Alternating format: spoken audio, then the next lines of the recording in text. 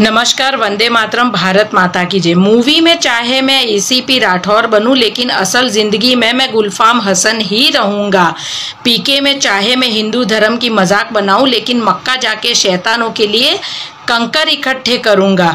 भारत में डरता हूँ, लेकिन तुर्की जाकर बहुत सेफ़ फील करूँगा। और मैं कोई नहीं, बॉलीवुड का सो कॉल परफेक्शनिस्ट और भांड आमिर खान ही कहलाऊँगा। आपने सही सोचा, ये दो कौड़ी के भांड आमिर खान के लिए ही है ये वीडियो। उनके मुँह पर जो खुशी मैंने देखी, मुझे ऐसा लग रहा था जैसे उनकी बीवी का वहाँ पर उन्होंने निकाह तय कर दिया है। इतने खुश कभी वो भारत में शायद ही दिखते हैं।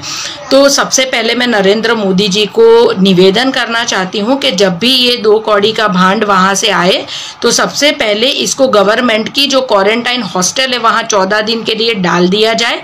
दूसरा के तुर्की वो कंट्री है, जहाँ पर पाकिस्तान को फंडिंग होती है, आईएसआईएसआई को वो लोग फंडिंग करते हैं, आतंकवादियों के खाने पीने के पैसे देते हैं, और भारत का सबसे बड़ा दुश्मन देश है।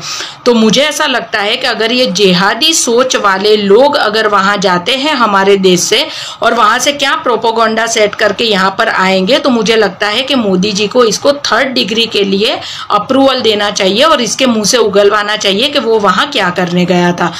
क्योंकि आज हमारे देश में हिंदुओं को अभी भी इतनी अकल नहीं आ रही है, क्योंकि पीके में जब उसने एक गाल पर उसने कृष्ण भगवान लगाए थे, दूसरे गाल पर उसने हनुमान जी लगाए थे तो क्यों यहाँ पर एक गाल पर उसने मक्का का सीन नहीं लगाया? उसका भी तो फ़ोटो मिलता होगा ना स्टिकर तो उसको एक गाल पर मक्का का स्टिकर लगाना चाहिए ना कि लो मारो लो मारो। लेकिन उसने दोनों हिंदू भगवानों को ही चुना और हम पागलों की तरह उस मूवी में देख रहे थे। सबसे बड़ी हाइट तो ये थी उस फ़िल्म की जो लोग घर में अकेली बकरी को नहीं छोड़ते, उस फ़िल्म में इतना बड़ा किरदार दिखा दिया सरफराज नाम था जिसका पीके में, कि वो एक हिंदू लड़की के छोड़ने के बावजूद उसकी राह देखते देखते बेचारे इतने आधे हो जाते हैं।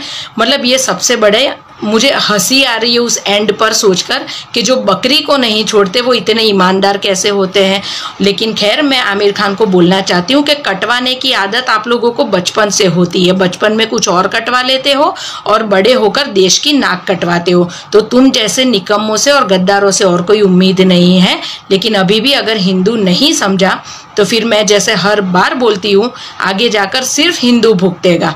मेजोरिटी में से माइनॉरिटी में आते देर नहीं लगेगी। अभी भी संभल जाओ। वंदे मातरम।